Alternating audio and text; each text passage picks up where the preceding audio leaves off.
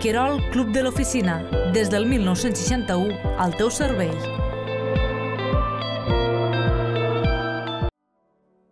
La mezzo-soprano Anna Brull i el pianista Josep Buforn protagonitzaran el concert de cloenda del 50è aniversari de Joventuts Musicals de Tortosa este diumenge 12 de novembre a l'Auditori Felip Pedrell. La reconeguda cantant de l'Ampolla ha preparat un repertori amb l'obra de Pedrell i dels seus eixebles, una oportunitat que ha permès a Brull conèixer l'obra del compositor tortosí i incorporar-la als seus concerts internacionals. Estem molt contents de que hagi acceptat la nostra proposta d'interpretar un concert al voltant de la figura de Pedrell.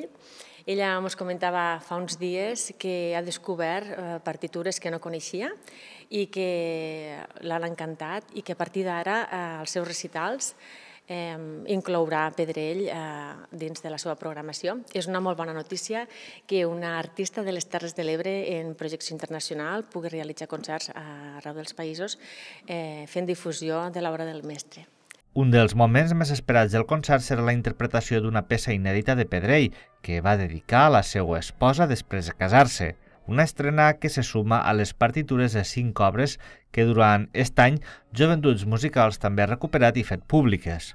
Des del consistori celebren la tasca de l'entitat per difondre l'obra i figura del músic i també agrair tota aquesta feina de recuperació que s'ha pogut fer i que per Tortosa, evidentment, és uh, algo que és molt important, el poder difondre totes aquestes partitures que ens permeten encara més posar en valor la figura de Felip Pedrell i situar-lo al lloc que li pertoca i també la difusió de la seva obra. A banda, Joventuts Musicals ja treballa en la segona edició del concurs de música Felip Pedrell previst per a l'any que ve una iniciativa que permet apropar la figura del tortosí als joves de les Terres de l'Ebre.